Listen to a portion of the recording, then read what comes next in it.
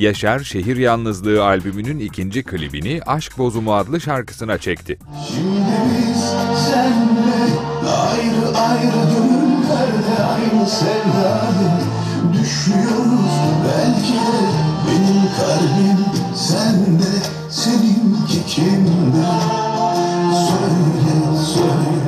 Albümün ikinci klibinin konserleri nedeniyle geciktiğini söyleyen Yaşar, klibinin konusunu da bizimle paylaştı. Burada geçen bir hikaye var. Çocukluktan başlayıp ondan sonra e, aradan geçen zaman içerisinde bir ayrılık, bir yıllarca birbirini görmemiş çocukluktan tanışan kişilerin sonra yıllar sonra karşılaşmasına benzer e, bir hikaye var.